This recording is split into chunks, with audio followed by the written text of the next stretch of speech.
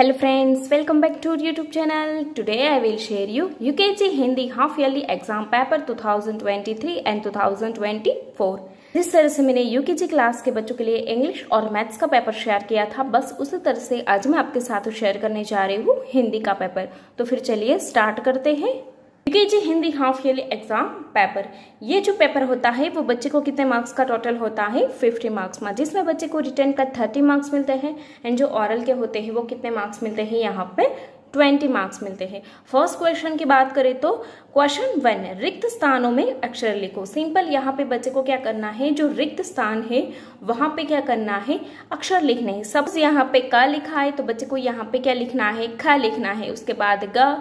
Simply यहाँ पे रिक्त स्थान में क्या करने हैं? अक्षर लिखने हैं। जिसके लिए बच्चे को कितने मार्क्स मिलते हैं? यहाँ पे टेन मार्क्स मिलते हैं।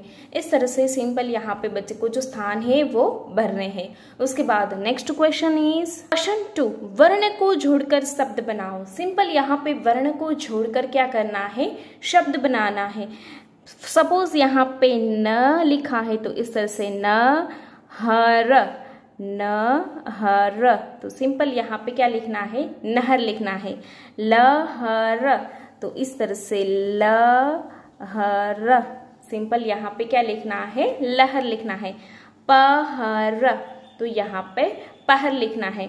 ठहर तो यहाँ पे ठह लिखना है। सिंपली यहाँ पे वर्णों को जोड़कर क्या बनाने हैं?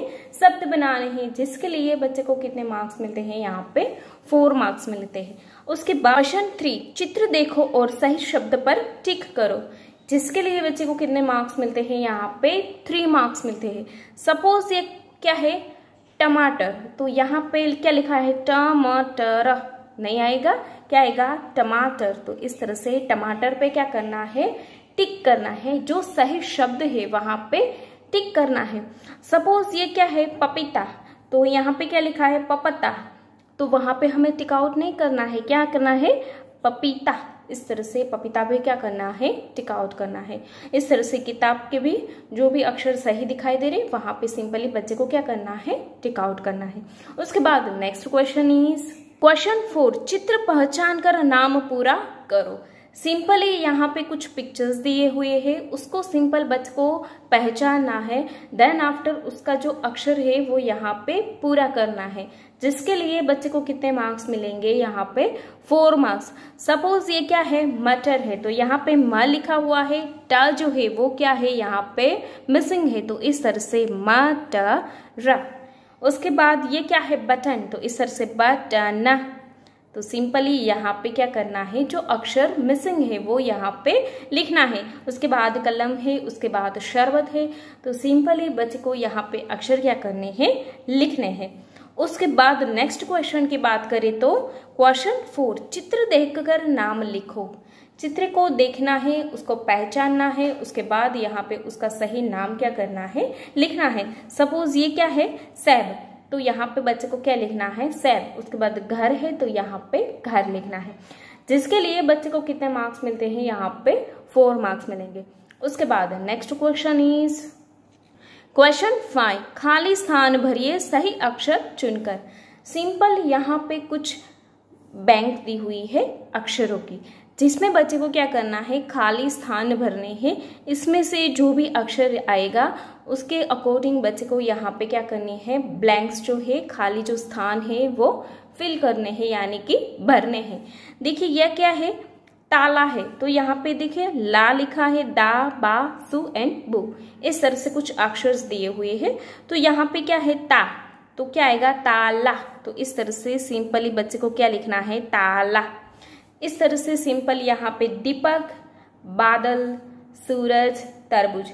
इस तरह से सिंपल यहाँ पे बच्चे को यहाँ से कुछ अक्षर्स लेके फिल करने हैं ब्लैंक्स।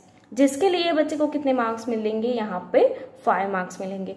और सारे क्वेश्चंस हो गए हमारे रिटर्न के क्वेश्चंस अब हम बात करने वाले हैं ऑरल क्वेश्चंस की। जो ऑरल क्वेश्चंस होते हैं, वो बच्चे को ट्वेंटी मार्क्स में यहाँ पे पूछा जाता है। उसमें हम फ़र्स्ट क्वेश्चन की बात करें तो सिंपल बच्चे को अ से अ तक के जो वर्ण होते हैं, उसको पहचानना है, उसके बाद क से ड तक के पहचानना है, वहाँ बोलना भी है। उसके साथ साथ कुछ कविताएँ सिखाई जाती है, वो भी यहाँ पे बच्चे को बोलनी पड़ती है। एंड जो छोटी छोटी जो स्टोरीज होती है, यानी कि कहानियाँ जो होती है, वो भी यहाँ पे बच्चे को ऑरल में पूछी जाती है। इतना जो होता है, वो बच्चे को यहाँ पे ऑरल में क्वेश्चंस पूछे जाते हैं। बस, इन पेपर्स की मदद से आप अभी से ही स्टार्ट करवाइए बच्चों को हाफ़ ईयरली एग्ज़ाम्स की प्रिपरेशन अगर आपको इन सारी वर्कशीट की पीडीएफ फ़ाइल चाहिए तो लिंक मैं डिस्क्रिप्शन बॉक्स में डाल दूँगी। आप वहाँ जाके इजीली डाउनलोड कर सकते हैं। आई होप कि आपको मेरा आज का वीडियो यूजफुल लगा हो।